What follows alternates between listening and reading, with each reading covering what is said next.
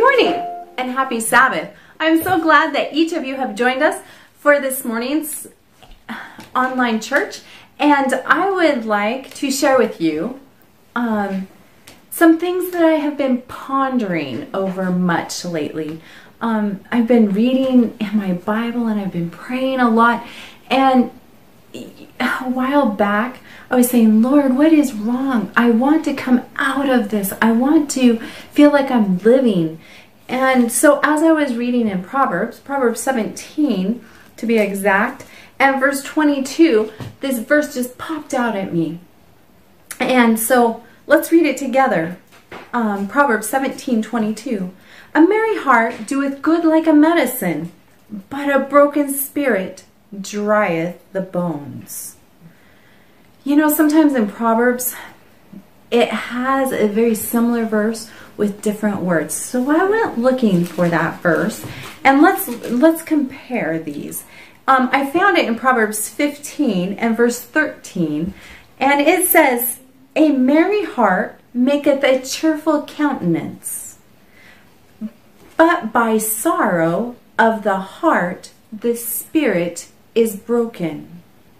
So does that mean that the spirit is broken when when the spirit is broken, your bones are drying up. And inside your bones, there's marrow. And the marrow is kind of like your life. It's when the marrow is not doing good, you get sick. And you don't want to get sick. I don't like being sick. I don't think anybody else likes being sick. But the Bible tells us what the um, antidote for being sick is, and that's to be cheerful, to have a cheerful heart. And so I was really pondering this and saying, Lord, what do I do? How can I get out of this? Because I have had some things that have broken my heart.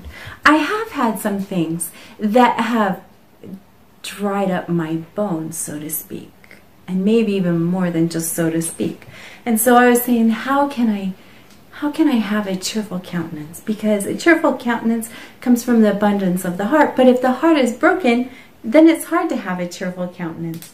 Well, then the Lord showed me something else and that is found in Isaiah 61. I like this. And this is a prophecy about Jesus, what Jesus' mission here on this earth is. And I believe that if we allow him, he will do this for us also. Excuse me. Isaiah 61, verses 1 and 2. The Spirit of the Lord God is upon me because the Lord hath anointed me to preach good tidings unto the meek. He hath sent me to bind up the brokenhearted. The bind up, what I see in my mind's eye is that he's coming to put a bandage, to put, to heal our broken heart and to allow it to heal so that it can be free again. To proclaim liberty to the captives. And you know, when we're in broken heart, a broken spirit, we're captives. And the opening of the prison to, to them that are bound. To proclaim the acceptable year of the Lord and the day of vengeance of our God. To comfort all that mourn. What an incredible promise. God wants to heal our broken hearts. He wants to comfort those who have mourned, those who have lost, those who have who their heart is too heavy to sing. He wants to put a song in our heart. And you know when John was baptizing in the wilderness at the Jordan River, when he said, Behold the Lamb of God which taketh away the sin of the world. It's our job to behold the Lamb of God who wants to bind up our broken hearts, who wants to comfort those who mourn.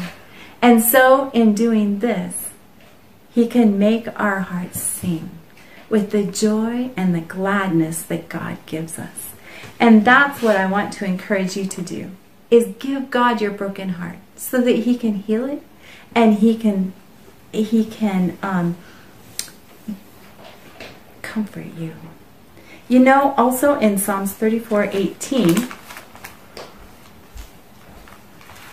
let's turn to Psalms 34 18.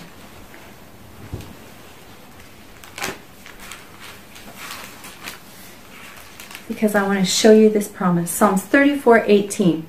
The Lord is nigh unto them that are of a broken heart, and saveth such as be of a contrite spirit. Let's allow God to heal our broken hearts so we can share Him with the world, so they can behold the Lamb of God with us.